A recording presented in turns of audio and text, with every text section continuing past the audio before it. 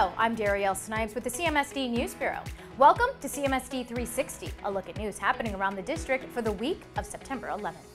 Today is Patriot Day, a day we remember the lives that were lost during the terrorist attacks 21 years ago at the World Trade Center in New York City, the Pentagon in Virginia, and in a field in Pennsylvania. September is Attendance Awareness Month. CMSD, the Cleveland Browns Foundation, and the Stay in the Game Network have teamed up to reduce chronic absenteeism. With a rise in chronic absenteeism during the pandemic, the district is relaunching its Get to School, You Can Make It attendance campaign. Here is some video of the attendance pep rally that was held last week. For the rest of the month, schools will be celebrating You Can Make It Monday, Target Tuesday, Willpower Wednesday, Thankful Thursday, and Festive Friday with fun activities and prizes. Also, show us your at 10 dance. Tag Cleveland Metro Schools if you record your dance for attendance. For more information, go to clevelandmetroschools.org slash get to school. On Tuesday, CMSD and the community will celebrate the renaming of the former Louis Agassiz Pre-K through 8 school in honor of the late Mary Church Terrell.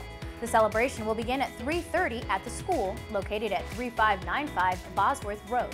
Terrell, an Oberlin College graduate, was one of the first African American women to earn a college degree and became known as a national activist for civil rights and suffrage.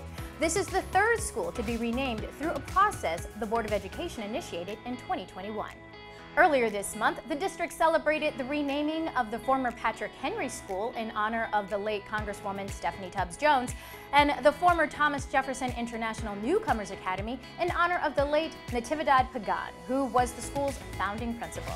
She also oversaw CMSD's multilingual, multicultural program and served as principal at Joseph M. Gallagher School. Also on Tuesday, the Board of Education will meet for its monthly work session. It will be held at East Clark Pre-K through 8 school located at 885 East 146th Street at 6.30 p.m. The meeting will be live streamed. You can find a link on the district's website, clevelandmetroschools.org. Open houses will be on Wednesday for most high schools and Thursday for pre-K through 8 and K through 8 schools. Students whose schools are holding open houses will be dismissed early. Open houses will run from 6 to 8 p.m. each day. On Thursday, the grand opening of the Cavs Goodyear STEM Lab at Stonebrook White Montessori campus will happen at 10 a.m. The lab, which will include a 3D printer, laser cutter, vinyl cutter, green screen, robotics, and more hands-on STEM equipment, was made possible by a half million dollar donation from the Cleveland Cavaliers and Goodyear. The funds are being used to add STEM labs in schools across CMSD. Thursday also marks the start of National Hispanic American Heritage Month. The observance will continue until October 15th. Senate Athletic League games are being live streamed again this school year. To see what games are up next and to watch, go to senatelive.com. Last week, students joined the District 1 team in broadcasting the Glenville versus John Marshall game. CEO Eric Gordon will deliver the annual State of the Schools address on Wednesday, September 21st at the Renaissance Cleveland Hotel. To order tickets, go to cityclub.org slash forms.